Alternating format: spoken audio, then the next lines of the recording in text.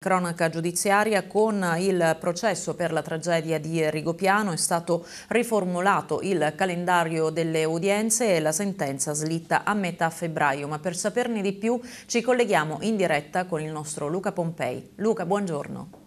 Buongiorno Anna, un saluto a tutti gli amici telespettatori. Oggi ultimo giorno di questo trittico di udienze assolutamente fondamentali per quel che riguarda il processo per la tragedia di Rigopiano, visto che nella giornata di ieri, come ricorderete, eh, c'è stata la richiesta della pubblica accusa di condanne per i 30 eh, imputati. Um, oggi però la dichiarazione quasi a sorpresa del giudice eh, Sarandrea che ha ricalendarizzato scusate, ehm, tutto uh, l'iter processuale per quanto riguarda uh, questa uh, vicenda. inizialmente si prevedevano altre tre udienze per la metà di dicembre e a gennaio la sentenza. Invece per il prolungarsi delle parti civili il giudice ha riformulato ehm, la calendarizzazione per cui ci sarà intanto la prossima udienza il 14 dicembre per completare la parte riguardante le parti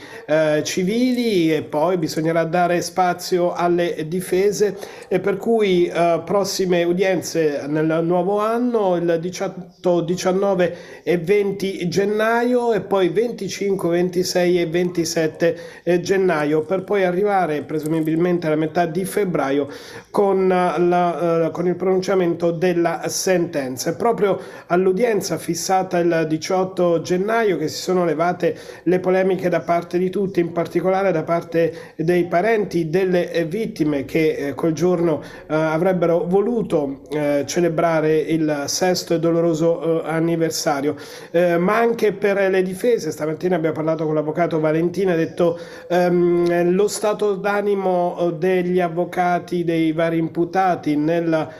fare la propria arringa il giorno 18 gennaio certamente non sarà uno stato d'animo ideale. E, insomma, però sotto questo punto di vista il giudice purtroppo avendo le disponibilità dell'Aula eh, solo in quei giorni è stato costretto a fissare l'udienza per il 18 eh, gennaio. Intanto si parlava Anna di parti eh, civili, questa mattina il pool dello studio Reboa, l'avvocato che cura gli interessi di parte delle, dei parenti delle eh, vittime, è una lunga arringa la sua, ma nella giornata di ieri un'altra arringa interessante è stata quella dell'avvocato Vania della Vigna, parte civile della famiglia Angelozzi, la famiglia della, uh, di Silvia uh, Angelozzi, una delle 29 vittime dell'hotel Rigopiano, eh, così ha eh, giudicato e commentato il lavoro della Procura e eh, così ha invece illustrato in estrema sintesi quella che è stata la sua arringa. La possiamo ascoltare e poi la linea può tornare allo studio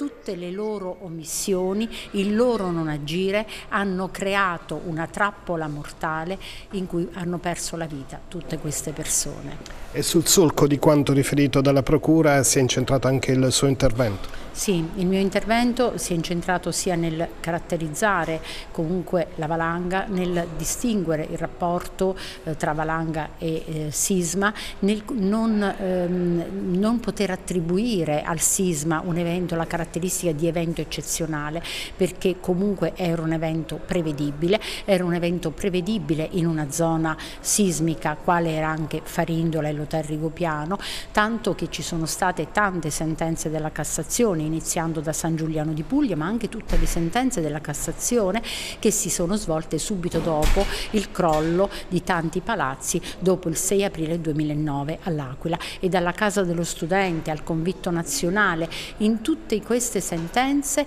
la Cassazione dice che in una zona sismica quale l'Italia centrale, quale l'Aquila, la zona dell'Aquilano, comunque l'evento sismico non può dirsi mai eccezionale, ma è sempre un un elemento prevedibile, prevedibile e quindi che doveva essere considerato eh, nel, da, da, tutti, dagli amministratori, partendo dal sindaco, poi dal, dal prefetto, dal, dalla provincia, dalla regione e quindi evitare che quella zona potesse essere abitata in quei giorni. Non dimentichiamo che il sindaco stesso aveva emesso ordinanza di chiusura eh, nei giorni precedenti l'evento, eh, sia della scuola, ma addirittura raccomandava ai cittadini di non mettersi in viaggio. Questa stessa attenzione non è stata data a quelle povere persone, sia ospiti che dipendenti che erano nell'hotel Rigopiano, tanto da costruire una trappola in cui sono morti.